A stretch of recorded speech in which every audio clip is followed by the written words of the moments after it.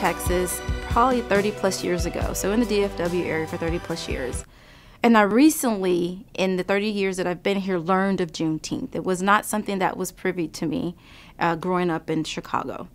What I will say is what it means to me is I think about the celebration of resilience, the celebration of courage. It means a lot that it is being recognized as a national holiday.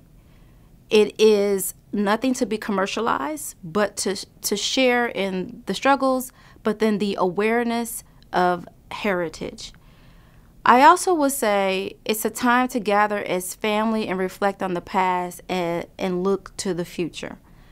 As it means to the city, I appreciate that the city is taking this inaugural step to allow this type of celebration of family, of, of, of heritage, and then also just of awareness of what the African American culture has endured and being able to bring bring about uh, unity in the community as it's shared abroad. And that's where the diversity comes in, as it being shared across all of our citizens to celebrate together in unity. So, what I would leave you with today is uh, take the time to understand the culture, understand the uh, past feelings for what has brought us to Juneteenth, but then also a, a, time to get to get together with family in unity and celebrate the heritage, the culture, the awareness uh, that uh, Juneteenth can bring about.